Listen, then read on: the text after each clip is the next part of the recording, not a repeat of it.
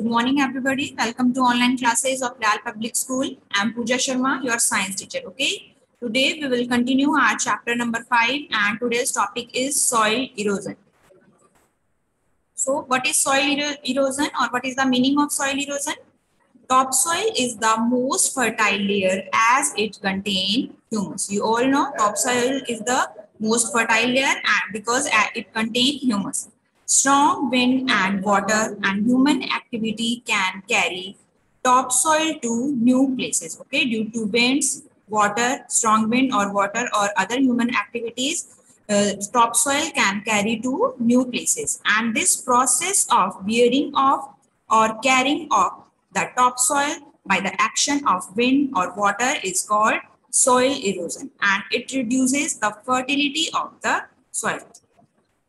Means the soil erosion means displacement of upper layer of soil. Okay. You all know that topsoil is the most fertile layer and due to natural factors like strong wind, rain and running water, the top layer of soil is often blown or washed away. Okay. And the removal of top fertile soil by wind, water or other factor is known as soil erosion. Okay. Soil erosion means strong winds water या फिर other जो human activities हैं उनकी वजह से top soil क्या हो जाती है? रिमूव हो जाती है। मीन्स उसका डिस्प्लेसमेंट हो जाता है। One place to another place जो टॉप सॉइल है वो मूव करती है okay due to strong wind water and human activity okay and इसे ही हम क्या कहते हैं?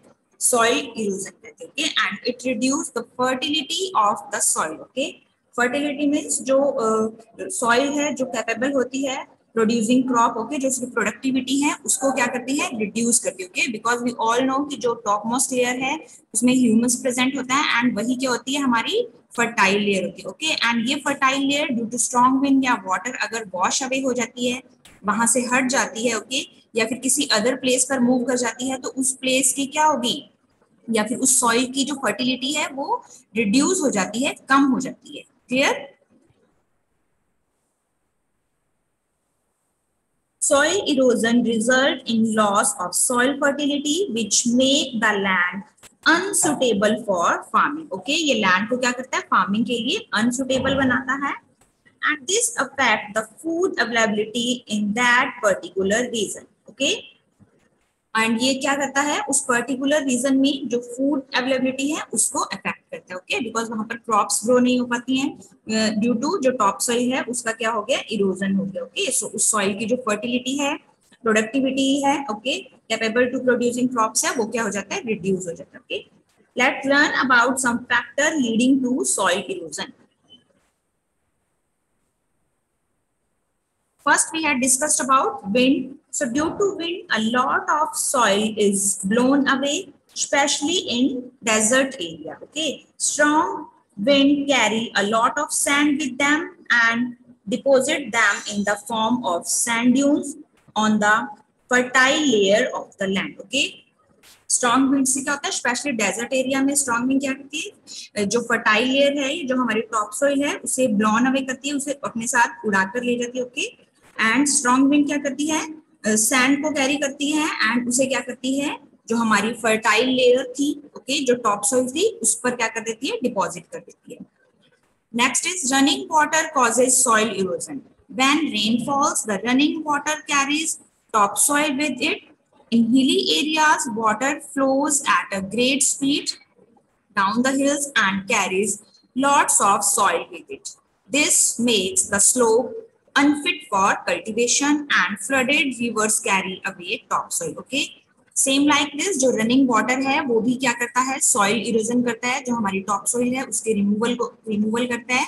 जब हैवी रेनफॉल होता है, तब क्या होता है? रनिंग जो वाटर है, बहता हुआ जो पानी है, वो अपने साथ टॉप सॉइल को कैरी करके अनदर प्लेस पर ले जाता है okay same like this hilly area में भी जब स्लोप से हिल का जो स्लोप है, उससे वाटर जब स्पीडली नीचे की तरफ़ आता है डाउन आता है तो क्या करता है? वो अपने साथ लॉर्ड्स ऑफ़ सॉइल को कैरी करके लाता है ओके एंड इसकी वजह से ही जो हिल्स के जो स्लोप्स होते हैं, वो कल्टीवेशन के लिए फ़ार्मिंग के लिए क्या होते हैं?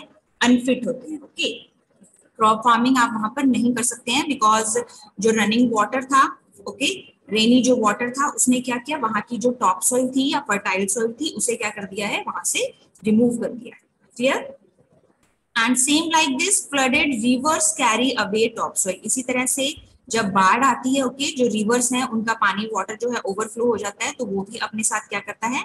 टॉप सॉइल को कैरी करके अनदर प्लेस पर ले जाता है. Clear in deserts and dry lands which blows away the topsoil causing soil erosion. Okay, same इसी तरह से डेजर्ट्स में या जो ड्राई lands है, वहाँ पर जब तेज हवाएँ चलती हैं तो वो भी क्या कॉज करती हैं?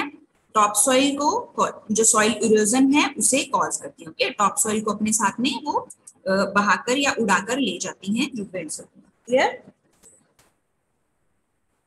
now soil erosion is caused by natural process और human activities water flowing downhill okay पहाड़ से जो वाटर नीचे की फ्लो करता है दैट इज़ नेचुरल प्रोसेस उससे भी सॉइल इरोजन होता है एंड जो स्ट्रॉन्ग विंड्स हैं, वो भी सॉइल इरोजन कॉज करती है okay and in human activity, there is overcropping, overgrazing, and deforestation. Okay, deforestation means the action of clearing a wide area of trees. Okay, किसी भी एरिया में बहुत वाइड रेंज में बहुत ज़्यादा वहाँ से अगर हम ट्रीज को कट करते हैं that is called deforestation okay deforestation से क्या होगा? वहाँ के जो ट्रीज हैं, अगर हम उसे आप कट कर देंगे तो ट्रीज क्या किस चीज़ में हेल्प करते हैं? सॉइल ट्रीज की जो रूट्स होती हैं, वो सॉइल को होल्ड करके रखती हैं। ओके देन अगर वहाँ से रनिंग वाटर भी वहाँ से जाता है या स्ट्रॉन्ग विंड्स होती हैं तो वो जो टॉप सॉइल है, वो वहाँ से रिमूव नहीं हो पाती ओके ड्यू टू ट्रीज वो प्लांट्स क्या करते हैं? सॉइल को, जो उनकी रूट्स हैं, वो सॉइल को होल्ड करके रखते हैं ओके बट आप डिफोरेस्टेशन करेंगे प्लांट्स को कट करेंगे ट्रीज को कट करेंगे okay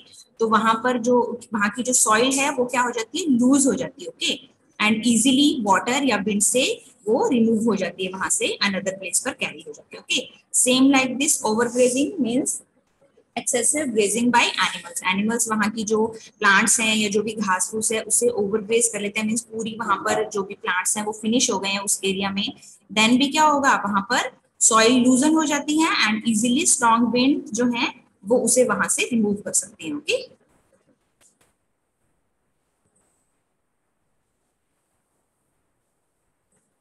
So human activities like deforestation, plowing of hill, slope and overgrazing cause soil erosion. Here deforestation is the indiscriminate felling of trees. Okay, indiscriminate means done without making sensible judgment. Okay, about the possible harmful effect. Okay, जो deforestation है वो क्या है trees का indiscriminate falling है okay आप बिना सोचे समझे कि इसके क्या नेगेटिव या एडवर्स इफ़ेक्ट होंगे एनवायरमेंट पर एंड ह्यूमन बींग्स पर ओके okay? तो आप जो इनसेंसिबल जो जजमेंट है विदाउट टेकिंग सेंसिबल जजमेंट है ना? आप क्या करते हैं? ट्रीज को अगर हम कट करते हैं तो दैट इज़ तो उसका जो रिज़ल्ट है, वो क्या होता है? Deforestation clear root of trees hold the soil together and when trees are cut the soil becomes loose and is easily carried away by wind and water clear and ploughing of hill slope loosen the soil and leads of soil erosion okay इसी तरह से आप हिल पर भी अगर प्लाइंग करते हैं, वहाँ की जो सॉइल है उससे लूज करते हैं तो उससे भी इजीली सॉइल इरोजन हो सकता है। And overgrazing by cattle removal the plants cover from the soil due to this erosion of soil increase okay same like this overgrazing में भी हमने डिस्कस किया है कि जो प्लांट्स हैं, वो कैटल्स हैं, वो वहाँ से प्लांट को बिल्कुल रिमूव कर देते हैं तो उससे क्या होगा? जो वहाँ की सॉइल है, वो इजीली क्या हो जाता है? सॉइल इरोजन हो जाता है। से okay next is problem caused by soil erosion soil erosion से क्या प्रॉब्लम हो सकती है? First one is loss of valuable top soil okay जो हमारी वैल्यूबल टॉप सॉइल है फर्टाइल टॉप सॉइल है उसका क्या हो जाता है? लॉस हो जाता है बिकॉज़ उसका क्या हो जाएगा? स्ट्रॉन्ग uh, विंड या वाटर की वजह से वो डिस्प्लेसमेंट हो जाता है उसका रिमूवल हो जाता है okay one place to another place next is boring valuable top soil same like this desert area में जब स्ट्रॉन्ग विंड्स चलती हैं ओके तो क्या होंगी? वो अपने साथ में सैंड को लेके आती है ओके एंड जो सैंड है, वो हमारी टॉप सॉइल को क्या कर देती है? पूरी कर देती है ओके यानी कि कवर्ड कर देती है ओके पूरी सरफेस को टॉप सॉइल को। तो भी वहाँ पर जो ये क्या है प्रॉब्लम है ओके टॉप सॉइल अगर कवर हो जाएगा तो वहाँ पर इजिली आप प्लांट्स ग्रो नहीं करवा सकते। Next one is damage to field field को भी डैमेज करते हैं ओके सॉइल इरोजन की वजह से जो फ़ील्ड है, वो भी डैमेज होता है। See in the picture okay इस तरह से ड्राई हो जाता है, वहाँ का फिर क्रैक्स आ जाते हैं okay next one is plant productivity decline okay plant को जो प्रोड्यूस करने की, जो हमारी मीन्स फर्टिलिटी के बारे में हमने पढ़ा था ओके okay? वो भी क्या हो जाती है? कम हो जाती है, okay? सॉइल की जो फर्टिलिटी है, वो अगर रिड्यूस होती है देन वहाँ पर प्लांट प्रोडक्टिविटी भी क्या होगी? रिड्यूस होगी clear next is desertification desertification mean the process of becoming a desert okay और convert an area of land into a desert okay एक लैंड का जो एरिया था ओके okay? वो किसमें कन्वर्ट हो गया? डेजर्ट में कन्वर्ट हो गया ड्यू टू डिफोरेस्टेशन डिफोरेस्टेशन हमने कर दिया है, वहाँ पर प्लांट्स को कट कर दिया है ओके okay? तो अब वहाँ पर बिल्कुल भी जो उसकी फर्टिलिटी है सॉइल की, वो फिनिश हो गई है डिक्रीज हो गई है तो वहाँ पर प्लांट प्रोडक्ट नहीं, हम ग्रो कर सकते हैं प्लांट तो वो एरिया किसमें कन्वर्ट हो गया है? डेजर्ट में कन्वर्ट हो गया clear due to soil erosion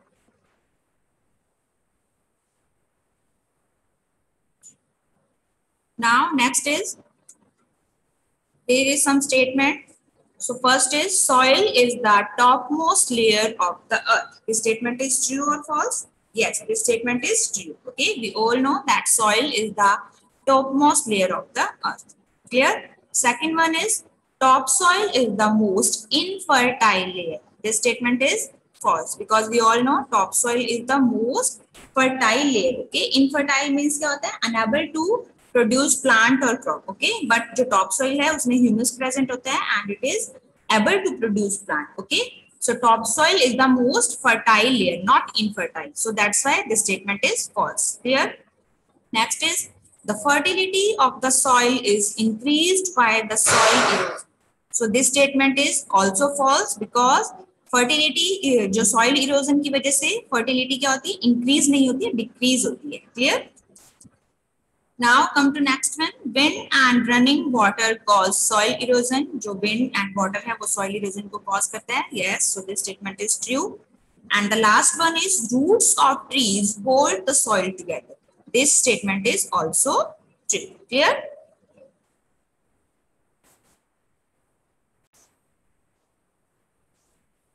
Okay.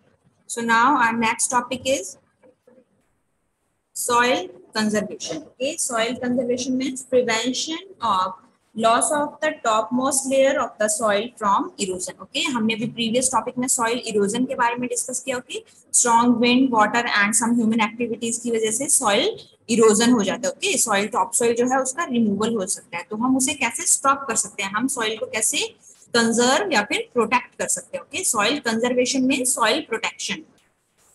ठीक है? Prevention of the loss of the top most layer of the soil from erosion erosion से हम कैसे हमारी जो टॉप मोस्ट लेयर है, उसे हम प्रोटेक्ट कर सकते हैं।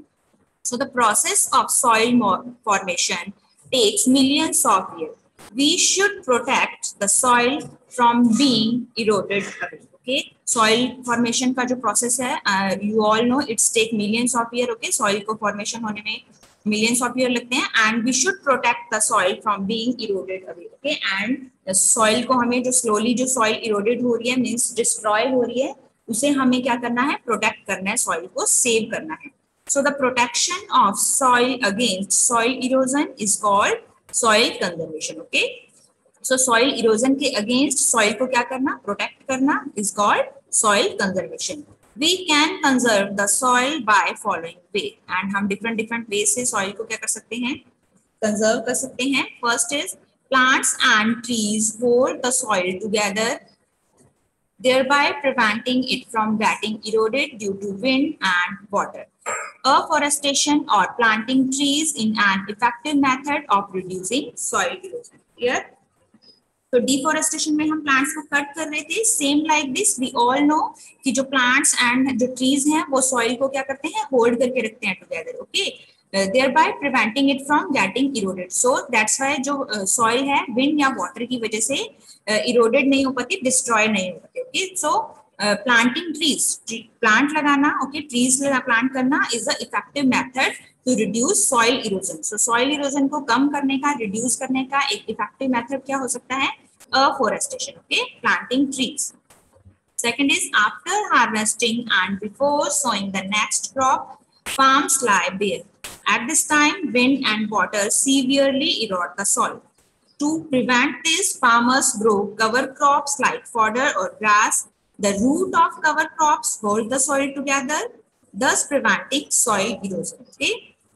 So after harvesting means जब हमने फार्म्स में क्रॉप्स को ग्रो कर दिया है क्रॉप राइप हो गया है एंड अब हमने क्रॉप को क्या कर लिया कलेक्ट कर लिया okay gathering a ripen crop जो राइप हो गई है क्रॉप फ़सल जो पक चुकी है, उसे जब हम कट कर लेते हैं that is called harvesting okay and harvesting के बाद में एंड नेक्स्ट जो क्रॉप है, उसकी सोइंग से पहले फार्म्स लाए बेयर फार्म को क्या रखा जाता है? ओपन रखा जाता है. समटाइम तक वहाँ पर उसे, उस एरिया में कोई भी क्रॉप को ग्रो नहीं किया जाता है. At this time, wind and water severely erode the soil, okay? And this time पर जो strong winds हैं या running water है, वो बहुत ही badly वहाँ से soil को क्या कर सकता है? Erode कर सकता है, उस soil को destroy या फिर remove कर सकता है, okay? So to prevent this and इसी चीज़ से प्रिवेंट करने के लिए सॉइल को इससे बचाने के लिए farmers grow cover crops okay like fodder और ग्रास जो फार्मर्स हैं, वो अपने फ़ील्ड में क्या ग्रो करते हैं?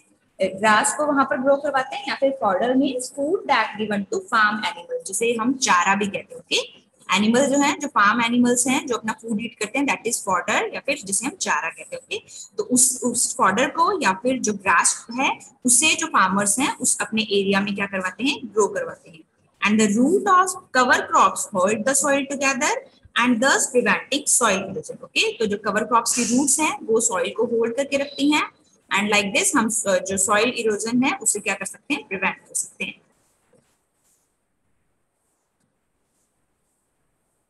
Next one is trees and bushes are grown along the boundary of farmland They act as shield against strong winds and protect the soil from being eroded. Okay, same like this. जो भी farmland है, farms हैं, उनकी जो boundaries होती हैं, वहाँ पर भी ट्रीज या फिर जो bushes हैं, झाड़ियाँ हैं, उन्हें वहाँ पर ग्रो करवाया जाता है. ओके उससे क्या होगा? जब भी ये एक shield की तरह, एक प्रोटेक्शन की तरह काम करते हैं अगेंस्ट स्ट्रॉन्ग wind. ओके तेज जो हवाएँ जब चलती हैं उनके अगेंस्ट ये जो ट्रीज या फिर जो बुशेस हैं ये एक शील्ड की तरह प्रोटेक्शन की तरह वर्क करती हैं एंड सॉइल को प्रोटेक्ट करती हैं from being eroded away okay soil को वहाँ से रिमूव होने में क्या करती हैं प्रोटेक्ट करती हैं In hilly regions, slopes are cut into steps and terrace to reduce uh, soil erosion. Okay, same like this. जो hilly region है वहाँ पर देखिए अगर आप डायरेक्टली यहाँ पर क्या करेंगे? प्लाउन करेंगे। इस सॉइल को लूज करेंगे अगर हम हिल्स में ठीक है? तो क्या होगा? रनिंग वाटर से या स्ट्रॉन्ग विंड से यहाँ की जो सॉइल है वो इरोडेड हो सकती है। बट यहाँ पर हम स्लोप्स पर क्या करते हैं? इसे इस तरह से स्टेप लाइक यहाँ पर या टेरिस की तरह यहाँ पर अगर हम यहाँ पर बनाते हैं तो ये सॉइल इरोजन को क्या करता है? रिड्यूस करता है। And this is called terrace farming and इस टाइप की फ़ार्मिंग को हम क्या कहते हैं? टेरेस फ़ार्मिंग कहते हैं ओके सीन द पिक्चर में दिख रहा है आपको, यहाँ पे स्टेयर्स लाइक इस तरह से स्टेप लाइक यहाँ पर बना दिया जाता है। इस पर फिर जो क्रॉप है, उसे ग्रो करवाया जाता है ओके डायरेक्टली सॉइल को लूजन नहीं किया जाता है। Step reduce the speed of flowing water and step क्या करती हैं? जब हिली एरियाज़ में टॉप से रनिंग वाटर नीचे की तरफ़ डाउन आता है तो ये उसकी स्पीड को क्या करती हैं? कम करती हैं। And as the speed of water slow down the amount of soil being carried away also reduce okay and जैसे ही जो वाटर की स्पीड है रनिंग वाटर की स्पीड स्लो होगी तो जो सॉइल वो वहाँ से इरोड कैरी करके अपने साथ ले जा रहा था okay amount of soil being carried away also reduce तो वो अमाउंट भी क्या हो जाएगा? रिड्यूस हो जाएगा. And soil eroded from one step deposit on the next step okay मान लीजिए यहाँ पर फ़र्स्ट स्टेप स्टेप से जो सॉइल इरोडेड हुआ है तो वाटर यहाँ से फ्लो करके जब तक नीचे वाले स्टेप पे आता है तो वो जो वहाँ से इरोडेड सॉइल है वो नेक्स्ट स्टेप पर डिपॉजिट हो जाती है, जमा हो जाती है ओके तो वो इस तरह से स्टेप फ़ार्मिंग या टेरेस फ़ार्मिंग से सॉइल इरोजन जो है, वो बहुत ज़्यादा नहीं होता है clear and during the monsoon season many rivers flood the nearby and building embankment along the river prevents soil erosion, okay? Same like this monsoon season में क्या होता है? जो rivers हैं, वो overflow हो जाती हैं, okay? उनमें पानी जो है वो ओवरफ्लो हो जाता है तो वो नियर बाय जो भी फ़ील्ड है, वहाँ से अगर वो रनिंग वाटर जाता है, जो ओवरफ्लो वाटर है तो वो क्या करता है, उस सॉइल को वहाँ से इरोजन कर सकता है सॉइल का ओके बट आप उन रिवर्स के जो साइड्स हैं, वहाँ पर एम्बैंकमेंट या फिर एक स्टोन की वॉल बना सकते हो wall of stone that is build to stop river okay river के फ्लो को रिवर के पानी को स्टॉप करने के लिए आप उसके रिवर के साइड्स में एम्बैंकमेंट या एक स्टोन की वॉल हम बना सकते हैं जिससे कि सॉइल इरोजन को हम प्रिवेंट कर सकते हैं रिवर से होने वाले सॉइल इरोजन को clear Now, formation of one inch of topsoil takes around 1500 years. Okay, so we must conserve soil. Soil का जो formation है, okay, one inch top soil formation होने में around five hundred years time take होता है okay so that's why हमें soil को क्या करना चाहिए? कंजर्व करना चाहिए and plant trees to conserve the soil okay ज़्यादा से ज़्यादा प्लांट्स को लगाकर हम सॉइल को क्या कर सकते हैं? कंजर्व कर सकते हैं। Now let's memorise but we had learn in this chapter first is weathering so the process of breaking down of rocks By the action of sun, wind, and water is called weathering. Humus, the remains of dead plants and animals in the soil is called humus. Next is topsoil. So the uppermost layer of the soil is called topsoil. What is soil erosion? The process of bearing away of the topsoil by the action of wind, and water is called soil erosion okay wind या water की वजह से जो top soil है वो remove हो जाती है या उसका डिस्प्लेसमेंट हो जाता है ओके उसे हम सॉइल इरोजन कहते हैं Next is soil conservation. So protection of soil against soil erosion is called soil conservation. Clear?